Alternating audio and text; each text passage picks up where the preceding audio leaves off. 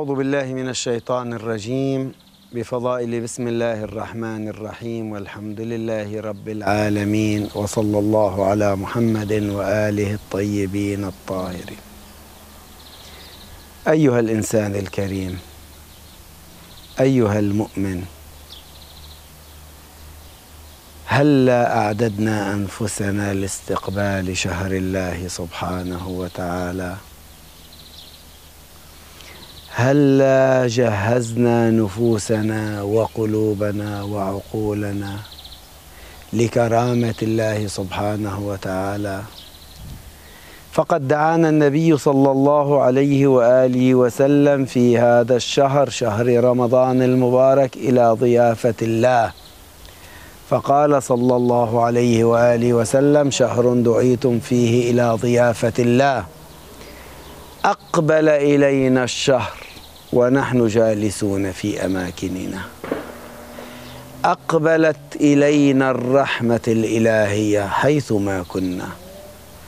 أقبلت إلينا الكرامة الإلهية والعطاء الإلهي اللامحدود. دون أن نسعى إلى ذلك. دون أن نجهد أنفسنا في ذلك. هي التي أتت رحمة وكرامة لهذا الإنسان الذي فضله الله سبحانه وتعالى على كثير مما خلق.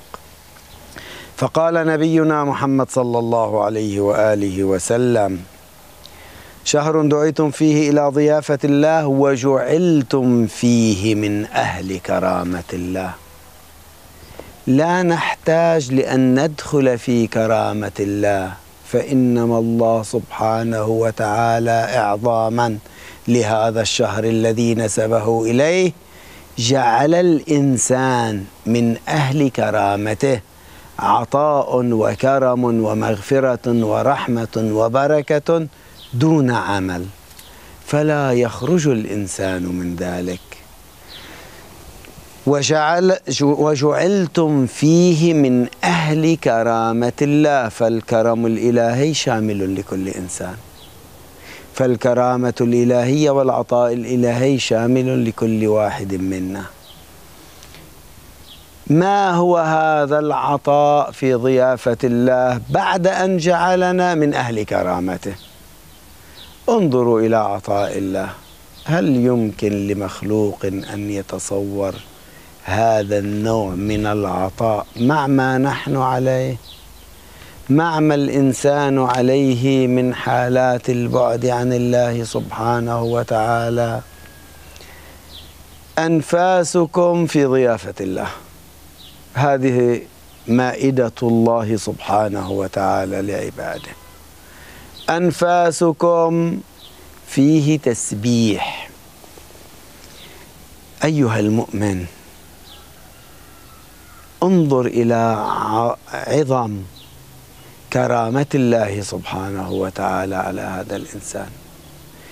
أنفاسكم النفس يحتاجه الإنسان ليعيش من دون إرادة من دون تعب من دون عناء وإنما هو عطاء من الله سبحانه وتعالى لبقاء الإنسان وبقاء الحياة. نتنفس في كل ثانية في كل لحظة في كل ساعة. ما شاء الله لحاجتنا إلى ذاك التنفس ويعطينا الله سبحانه وتعالى ما نحتاجه في هذا الهواء لذاك التنفس. هذا التنفس اللا إرادي. هذا التنفس الذي إذا ما نمنا يبقى مستمر إذا ما استيقظنا يبقى مستمر. حتى ينتهي الإنسان من هذه الدنيا أنفاسكم في ضيافة الله سبحانه وتعالى تقلب ليست إلى عنوان النفس إلى أنك في كل نفس مسبح لله سبحانه وتعالى.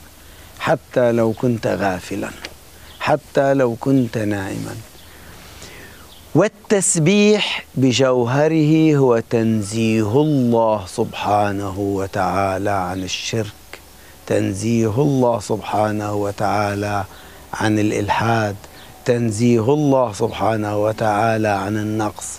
تنزيه الله سبحانه وتعالى عما يتخيله المتخيلون ويظنه الظانون ويتوهمه المتوهمون. فالتسبيح عندما نقول سبحان الله هو تنزيه الله سبحانه وتعالى عن كل نقص عن كل خلل عن كل إيه، منقصة عن الشرك عن الكفر عن الإلحاد.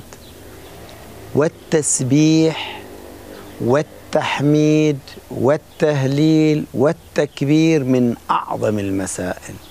فقد ملأ الله سبحانه وتعالى ملأ سماواته وأرضه وما نعلم وما لا نعلم من خلقه ملأها بملائكة مسبحين مهللين حامدين لله سبحانه وتعالى لا يسأمون عن تسبيحه في ليل ولا نهار لا في زمان عن زمان ولا في مكان عن مكان.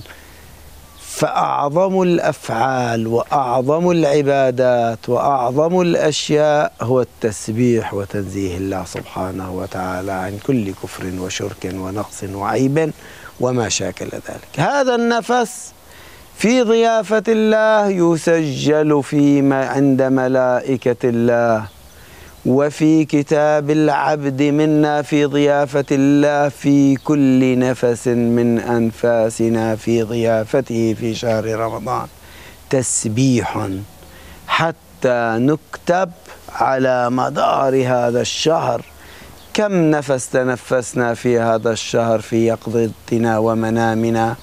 تسجل تسبيح فينادى فينا أيها المسبحون. فكيف لا تكون حقيقة من المسبحين؟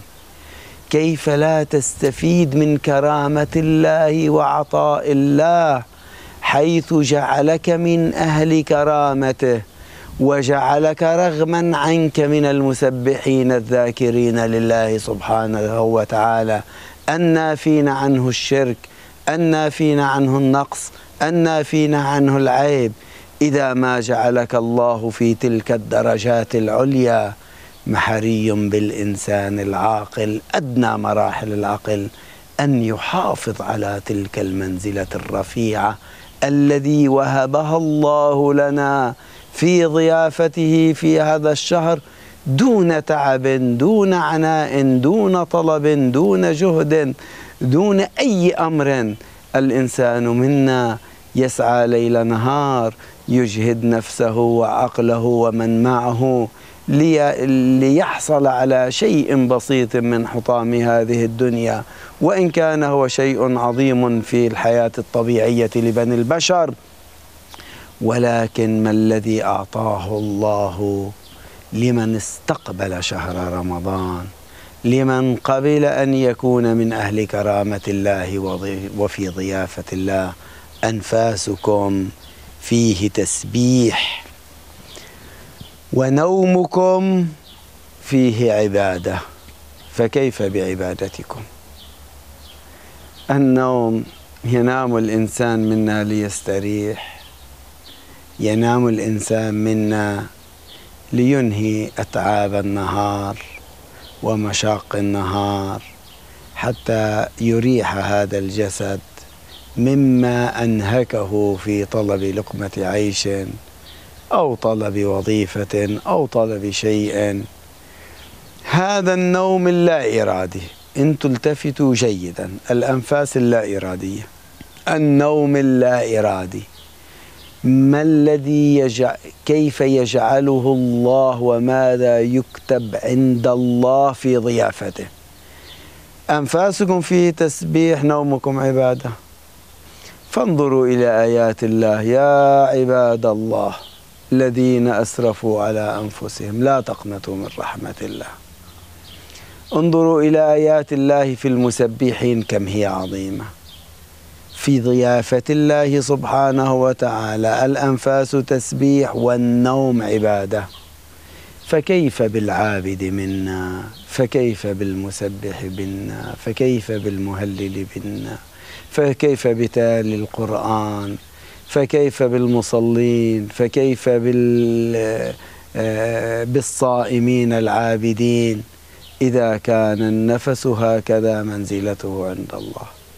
والنوم اللا إرادي يعد صاحبه من العابدين والعابدين لهم عند الله الدرجات العليا. التفتوا إلى هذه العطاءات واجمعوها مع جعلتم من أهل كرامة الله. يعني أهل كرامة الله أي كرم هذا وأي عطاء لله سبحانه وتعالى في شهر وفي أيام نسبها إلى اسمه العظيم. فعظمها وعظم شأنها وعظم من فيها أعلى درجات التعظيم. ونومكم فيه عبادة وعملكم فيه مقبول.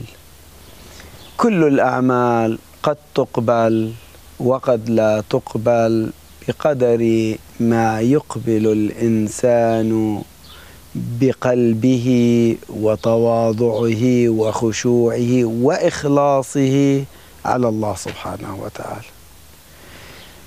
انظر أيها العبد انظر أيها الإنسان المؤمن. من منا من سائر البشر استثني المعصومين في صلاتهم وصيامهم وعباداتهم. من منا في صلاته من يستطيع منا أن يأتي بركعتي صلاة فيها من الخشوع والتوجه والإخلاص من تكبيرة الإحرام إلى التسليم على مدار عمر الإنسان. كم تعيش ستون سنة سبعون سنة مئة سنة؟ أيها الإنسان أعطوني إنسانا يستطيع أن يأتي بعبادته بكلها ولو ركعتي صلاة لمدة ثلاثة دقائق. مخلصا مع الله سبحانه وتعالى في كل عبادته. لا شك ولا ريب. لأقعدن لهم صراطك المستقيم. يأتي الشيطان يأتي إبليس وجنوده وأعوانه. في كل ركعتي صلاة في كل فرض صلاة يصليه العبد منا. يحرف يحرف تفكير الإنسان وقلب الإنسان وجوارح الإنسان عن عبادة الله سبحانه وتعالى. فكم فكرة تأتيك أثناء الصلاة؟ وكم وسوسة من الشيطان؟ وكم حالة وحالة تعرض عليك أثناء الصلاة؟ فأي عبادة صادقة مخلصة لله سبحانه وتعالى نستطيع أن نأتي بها في حياتنا بأجمعها؟ ولكن الله منة منه وكرامة وعطاء في هذا الشهر الذي دعينا إلى ضيافته جعل الأعمال فيه مقبولة. يعني هذا الشيطان الذي يحرف الإنسان عن عبادته وسائر أفعاله ويوسوس للإنسان ويغويه في شتى الطرق. الله سبحانه وتعالى وعد أن الأعمال الذي تأتي بها في شهر رمضان المبارك ستقبل على ما هي عليه وبالتالي ما عليك إلا أن تتوجه إلى الله في هذا الأعمال في هذه الأعمال سواء كانت عبادة أو معاملة أو تجارة أو أي عمل ما في شهر رمضان إنوي مع كل عمل تقوم به التقرب إلى الله سبحانه وتعالى حتى في طلب الرزق. إن انوي التقرب إلى الله في هذه الأفعال لتتقوى على طاعة الله سبحانه وتعالى فإذا كانت الأعمال في شهر رمضان مقبولة فعلى الإنسان أن أن يستزيد من النيات الصادقة لتكون تلك الأعمال رافعة لدرجاتنا في حسناتنا وفي ديوان وفي أرصدة وديوان الحسنات إن شاء الله. جعلنا الله وإياكم من الذين يستمعون القول فيتبعون أحسنه. وآخر دعوانا أن الحمد لله رب العالمين ونتابع إن شاء الله بقية خطبة النبي صلى الله عليه وآله وسلم في الحلقة القادمة.